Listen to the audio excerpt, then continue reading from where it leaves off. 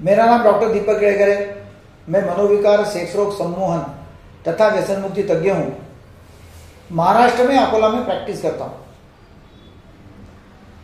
हमारा mental hospital है, जहाँ मनोरुग्ण और व्यसनी लोगों को रिश्तेदारों के साथ में भर्ती करते हैं, उनका इलाज करते हैं। और दूसरा एक हॉस्पिटल है, जहाँ हम मनोरुग्ण तथा व्यसनी लोगों को बिना रिश्तेदार भर्ती करते हैं और उनका इलाज करते हैं। मेरे पास में जब बच्चे, बच्चों को लेके आते माँ बाप तो कॉमन जो प्रॉब्लम रहता है, वो ये है कि बच्चा पढ़ाई नहीं करता। बच्चों को पढ़ाई में इंटरेस्ट नहीं है। बहुत पीछे लगना पड़ता है। वो सामने किताब तो लेके बैठता है, मगर पढ़ाई नहीं करेंगे, अंदर कुछ घुसता नहीं जब हम काउंसलिंग करते तो सामने आता है कि बच्चों को पढ़ाई करने मतलब बच्चों ने पढ़ाई क्यों करना, इसकी कोई वजह उसको मालूम नहीं। क्योंकि पढ़ाई करने के लिए कुछ बड़ी वजह चाहिए। कुछ करना है, इसलिए पढ़ाई करना है, ये उसको मालूम ही नहीं। बच्चों को ये मालूम है कि माँ बाप पीछे लगते हैं, माँ पीछे लगती है, उसके पिताजी, डैडी पीछे लगते हैं उसको टोकते रहते हैं, करके पढ़ाई करना है। या फिर बाकी बच्चे पढ़ाई करते हैं, इसलिए पढ़ाई करना है। या फिर टीचर ने होमवर्क दिया है, वो पूरा करना है, इसलिए पढ़ाई पढ़ाई करना है। उनको मालूम ही नहीं कि पढ़ाई करने की वजह क्या है। बहुत सारे लोग तो ज़िंदगी जीते नहीं है, ज़िंदगी काटते रहते हैं। तो ऐसे पढ़ाई का जो दिन है मतलब वो पढ़ाई का टाइम जो है वो काटते जाना है। पढ़ाई, बताना है कि पढ़ाई कर रहा हूँ और अंदर कुछ घुस नहीं रहा है। पढ़ाई करने का कोई मकसद, पढ़ाई करने का कोई वजह, ऐसी कोई वजह ही नहीं है कि जिससे, जिसकी वजह से पढ़ाई करेगा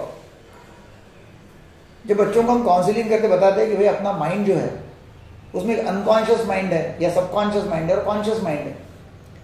सबकॉन्शियस माइंड जो है, या अनकॉन्शियस माइंड है, उसको सबकॉन्शियस माइंड बोलेंगे अनकॉन्शियस बोलेंगे, एक ही है, वो आदत से मज़बूत है। उसको पढ़ाई करना नहीं है, ये आदत लग गई। पढ़ाई नहीं करने की आदत लग गई। या व्हाट्सएप देखने की आदत फेसबुक देखने की आदत टाइम पास करने की आदत, गपशप करने की आदत टीवी देखने की आदत, ऐसी आदतें लग गई है। टाइम पास करना, वो आदत लग गई है। तो जो सबकॉन्शियस माइंड जो है, वो मैं उसको घोड़े की उपमा देता हूँ। घोड़ा, वो घोड़ा है। और अपना कॉन्शियस माइंड जो है, वो घोड़े सवार है। वो घोड़े के ऊपर कॉन्शियस माइंड घोड़सवार है।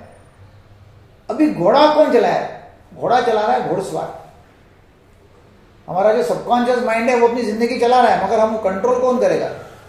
वो अनकॉन्शियस माइंड को कंट्रोल करने वाला जो है वो कॉन्शियस माइंड है। कॉन्शियस माइंड मतलब अपना इंटेलिजेंस अपनी समझदारी।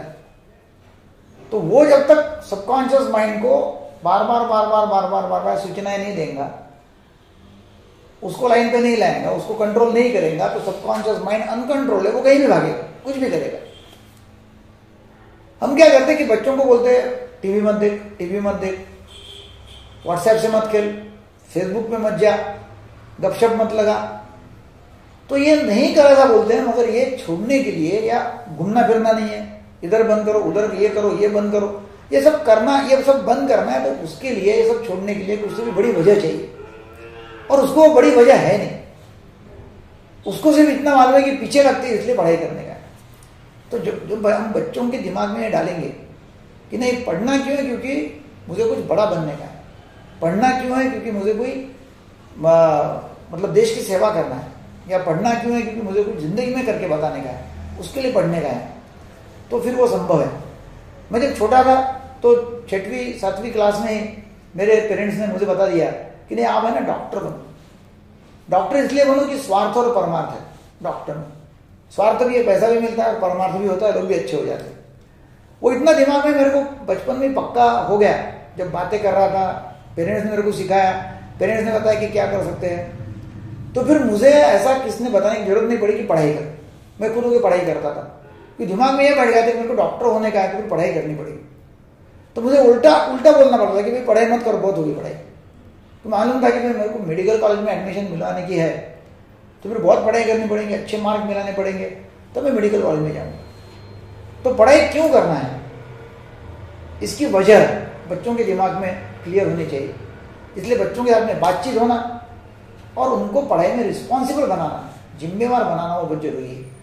और बच्चे भी जिम्मेदार बनते हैं पढ़ाई करने में। पढ़ाई क्यों करना है उनको क्लियर है। तो पढ़ाई करने के लिए पीछे लगने की ज़रूरत नहीं। जब मैं माँ बाप को ये बताता हूँ या काउंसिलिंग करता हूँ तो माँ बाप को भी काफ़ी अच्छा लगता है। उनके भी जो फंडे वो क्लियर हो जाते हैं।